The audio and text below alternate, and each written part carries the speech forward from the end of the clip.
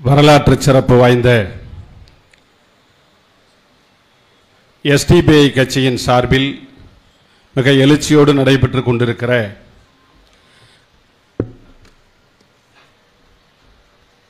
சிறந்த ஆளுமைகளுக்கான விருது வழங்கும் விழாவினை தலைமையேற்று நடத்தி கொண்டிருக்கக்கூடிய பெரும் மதிப்பிற்கும் மரியாதைக்கும் உரிய எஸ்டிபிஐ கட்சியினுடைய மாநில பொதுச் செயலாளர் மரியாதைக்குரிய அகமது நபவி அவர்களை நிகழ்ச்சிக்கு வருகை தந்திருக்கிற நம்மை வரவேற்று அமர்ந்திருக்கிற மாநில பொருளாளர் அமீர் ஹம்சா அவர்களை தொகுப்புரை வழங்கி கொண்டிருக்கிற மாநில செயலாளர் ஏ கே கரீம் அவர்களை துவக்க உரை ஆற்றி விடைபெற்றிருக்கிற மாநில பொதுச் செயலாளர் நிஜாம் முகைதீன் அவர்களை நோக்க உரை ஆற்றி விடைபெற்றிருக்கக்கூடிய பொதுச் செயலாளர் அமர் பாருக் உமர் பாருக் அவர்களை இந்த விருதுகளை வழங்கி சிறப்புரை ஆற்ற இருக்கக்கூடிய தமிழக சிறுபான்மை நல ஆணைய தலைவரும் காங்கிரஸ் பேர் இயக்கத்தினுடைய மூத்த தலைவர்களிலே ஒருவருமான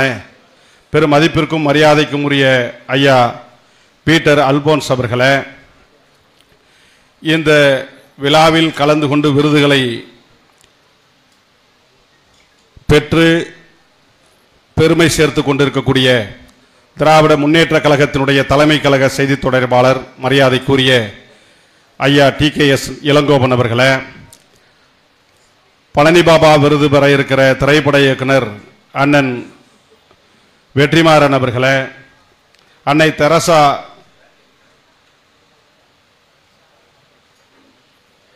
அன்னை தெரசா விருது பெற்று விடைபெற்றிருக்கக்கூடிய திருவற்றியூர் அலிபாசா அவர்களை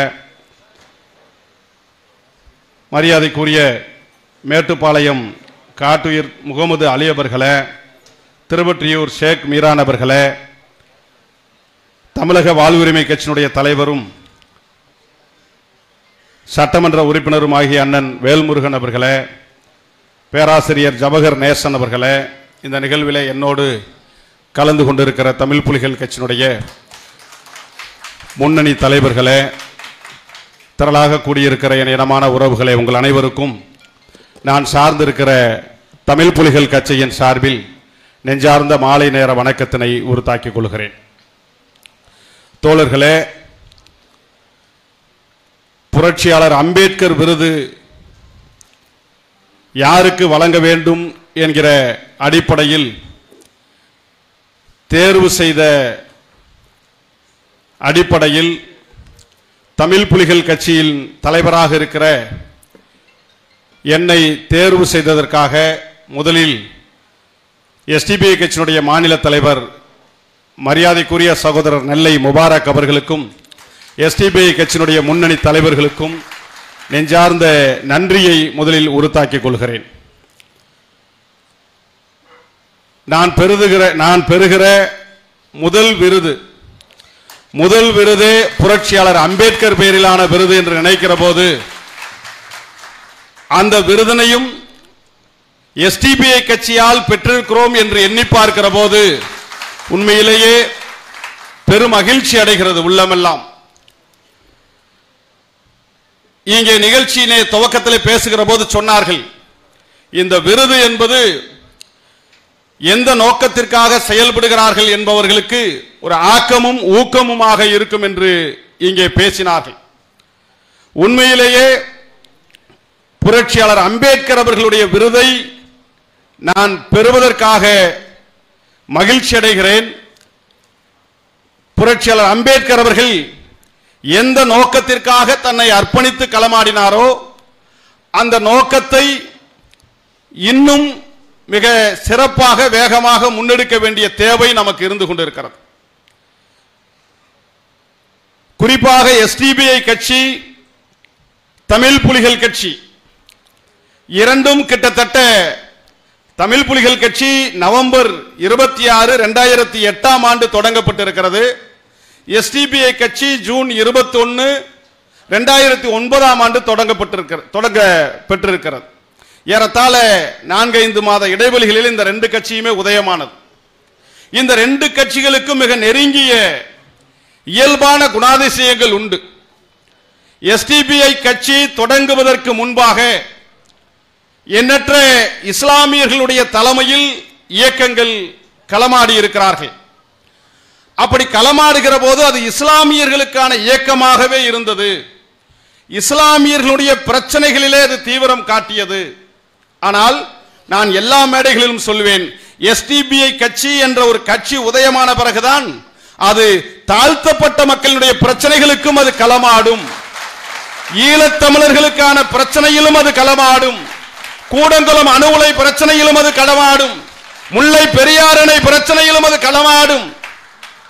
அகில இந்திய அளவிலே ஏன் உலக அளவிலே மனித ஒடுக்குமுறை எங்கெல்லாம் இருக்கிறதோ அங்கெல்லாம் தன்னுடைய போர்க்குணத்தை காட்டி போராடி கொண்டிருக்கிற ஒரு இயக்கமாக இன்னும் சொல்ல வேண்டும் என்று சொன்னால் இது முஸ்லீம்களுக்கான இயக்கம் அல்ல அதை தாண்டி ஒட்டுமொத்த மானுட மக்களுடைய விடுதலைக்கான இயக்கம் என்கின்ற ஒரு அடையாளத்தை பதித்த இயக்கம் எஸ்டிபிஐ கட்சி.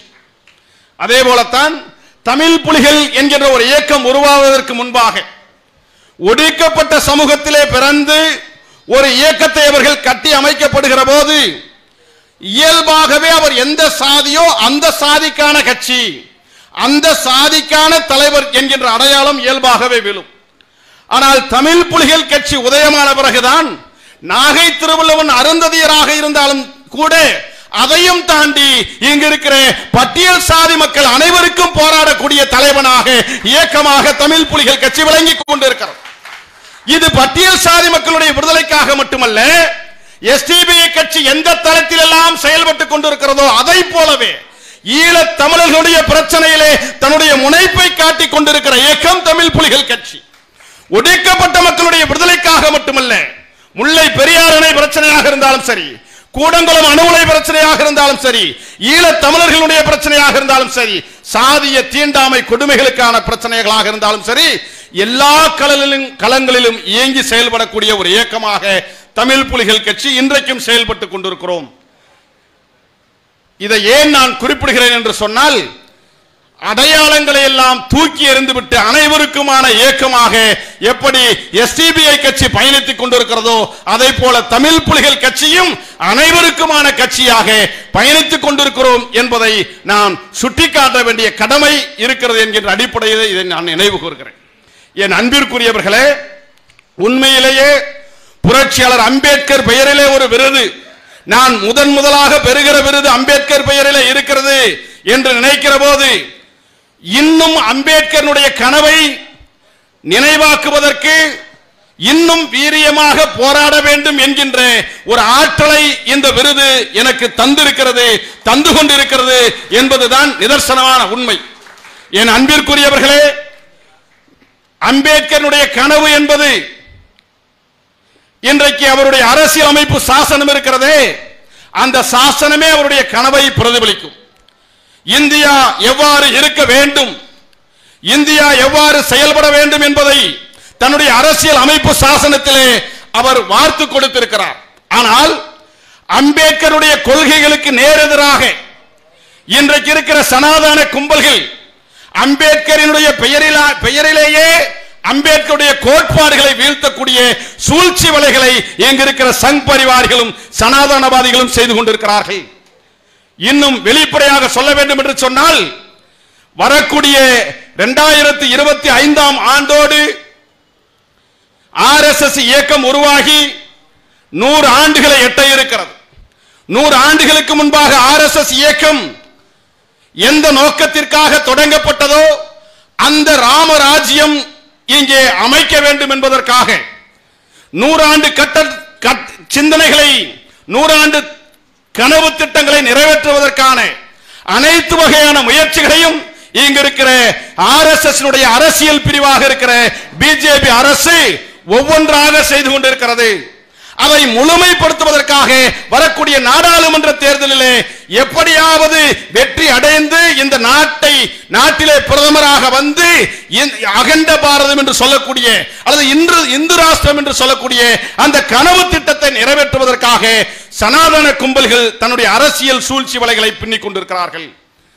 இந்த சனாதன கோட்பாட்டிற்கு ஆர்எஸ்எஸ் சித்தாந்தத்திற்கு பிஜேபியினுடைய அரசியல் கோட்பாட்டிற்கு யாரெல்லாம் ஆட்படவில்லையோ அவர்களை எல்லாம் மிரட்டுவதும் அவர்களை எல்லாம் மிரட்டி ஒடுக்குவதுமாக செய்து அடக்குமுறை ஏவியாவது தன்னுடைய ஏவல் படையாக இருக்கிற அமலாக்கத்துறையை ஏவியாவது அல்லது இங்க இருக்கிற சிபிஐயை ஏவியாவது தன்னுடைய கட்டுப்பாட்டிற்குள்ளே கொண்டு வந்து ஒட்டுமொத்த இந்தியாவையும் இந்து ராஷ்டிரம் என்கின்ற பெயரிலே இதை நகர்த்தி கொண்ட வேண்டும் என்கின்ற முயற்சியில் மிக தீவிரமாக இருந்து கொண்டிருக்கிறார்கள்.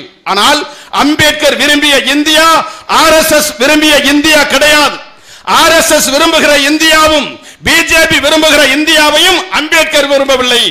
அம்பேத்கர் அனைவருக்குமான இந்தியாவை விரும்புகிறார்.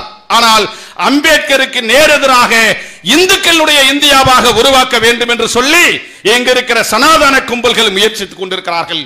ஒரு படிக்கு மேலே போய் அம்பேத்கரையே தனக்கான தலைவனாக சனாதன கும்பல்களும் தூக்கி கொண்டு வந்தக்கூடிய இந்த நேரத்தில் அம்பேத்கரை சனாதன கும்பல்களிடமிருந்து மீட்டெடுக்க வேண்டிய கடமையும் தேவையும் நமக்கு இருக்கிறது என்கின்ற அடிப்படையிலே அம்பேத்கருடைய உண்மை கொள்கைகளை அம்பேத்கருடைய கோட்பாடுகள் என்று சொல்லக்கூடிய சாதி ஒழிப்பு சமத்துவம் சகோதரத்துவம் ஜனநாயகம் என்கின்ற அந்த கோட்பாட்டை நடைமுறைப்படுத்துவதற்கான செயல்பாட்டு தளங்களிலே நாம் நின்று கொண்டிருக்கிறோம். அந்த களப்பணியிலே தமிழ் புலிகள் கட்சியும் நின்று கொண்டிருக்கிறது. அந்த அடிப்படையில் சரியாக செயல்பட்டுக் கொண்டிருக்கிறார்கள். அம்பேத்கருடைய கோட்பாடுகளையும் பெரியாருடைய கோட்பாடுகளையும் காரல் மார்க்சுடைய சிந்தனைகளையும் மிக நேர்த்தியாக முன்னெடுத்துக் கொண்டிருக்கிற ஒரு இயக்கமாக தமிழ் புலிகள் கட்சியை அடையாளம் கண்டிருக்கிறது. எஸ்டிபிஐ கட்சி என்று நினைக்கிற போது எஸ்டிபிஐ கட்சியை எத்தனை முறை பாராட்டினாலும் தகும். இன்னும் ஒருபடிக்கு மேலே போய் ஒரே வரியிலே சொல்ல வேண்டும் என்று சொன்னால் தமிழ் புலிகள் கட்சி யாரை நேரெதிராக எதிர்த்துக் கொண்டிருக்கிறதோ ஆர்எஸ்எஸ் கோட்பாடுகளை சனாதான சிந்தனைகளை தமிழ் புலிகள் கட்சி நேரடியாக எதிர்த்து கொண்டிருக்கிறது. அந்த நேரடியாக எதிர்த்து கொண்டிருக்கிற கருத்தியல் எதிரியாக இருக்கிற ஆர்எஸ்எஸ் இயக்கம் இன்றைக்கு இந்தியாவிலேயே ஒரு கட்சியை பார்த்து அச்சப்படுகிறது என்று சொன்னால் அதுதான் எஸ்டிபிஐ கட்சி. ஆக என்னுடைய எதிரியும் எஸ்டிபிஐ கட்சியினுடைய எதிரியும் ஒன்றாக இருக்கிறது. எனவே ஆர் எஸ் எஸ் கோட்பாட்டை அந்த கருத்தியல் கோட்பாட்டை வீழ்த்தி அடைய வேண்டும் என்று சொன்னால் நாம் அனைவரும் ஒன்றுபட வேண்டிய அவசியம் இருக்கிறது. அந்த ஒற்றுமையை வரக்கூடிய நாடாளுமன்ற தேர்தலிலே நாம் நிரூபிக்க வேண்டிய கடமை இருக்கிறது. இந்தியாவை விட்டு சனாதன கும்பல்களை பிஜேபியை ஆர்எஸ்எஸ் இயக்கத்துடைய அடிவண்டிகளை இந்தியாவை விட்டு துடை தெரியக்கூடிய வாய்ப்பாக வரக்கூடிய நாடாளுமன்ற தேர்தலை நாம் பயன்படுத்திக் கொள்ள வேண்டும் என்று சொல்லி சனாதன சக்திகளுக்கு எதிராக முழங்கிய புரட்சியாளர் அம்பேத்கர் வழியில் தமிழ் புலிகள் கட்சி என்றைக்கும் தடம் பெறலாமல் பயணிக்கும் என்று சொல்லி இந்த வாய்ப்பினை இந்த விருதை வழங்கிய எஸ்டிபிஐ கட்சிக்கும் அதனுடைய மாநில தலைவருக்கும் நெல்லை முபாரக் அவர்களுக்கும் உண்மையிலேயே மனமுவர்ந்து சொல்கிறேன் நெஞ்சார்ந்து சொல்கிறேன். நான் வாங்குகிற முதல் விருதே அம்பேத்கர் விருது என்கிற போது அந்த விருதை வழங்கிய இந்த கட்சியை மாநில தலைவர் நெல்லை முபாரக் அவர்களை நெஞ்சம் நிறைந்த வாழ்த்துக்களையும் நன்றிகளையும் சொல்லி விடைபெறுகிறேன். நன்றி வணக்கம்.